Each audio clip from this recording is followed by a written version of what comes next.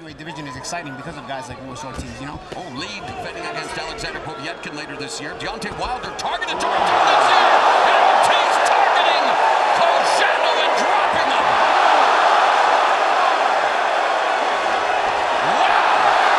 That is it!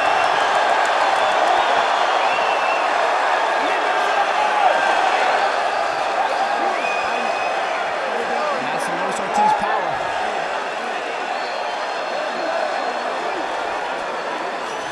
And that is why Luis Ortiz is known as the boogeyman of the heavyweight division.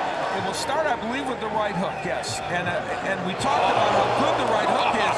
Clearly, the straight left was the major punch. But uh, when you have both those punches, and not every southpaw has a good right hook, and that one helped set up the straight left hand. It was a little bit like, it is. see, you just distract him with that peripheral shot, and then it takes his attention just away from down the middle.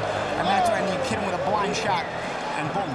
And of course, the blind shots are also the faster ones, so once you take his attention for a split second, you can blast it down the middle. And at the end of the day, not too many heavyweights can withstand the straight left hand of Luis Ortiz. Ortiz Cuban missile left hand proved to be a crisis for Cojanu.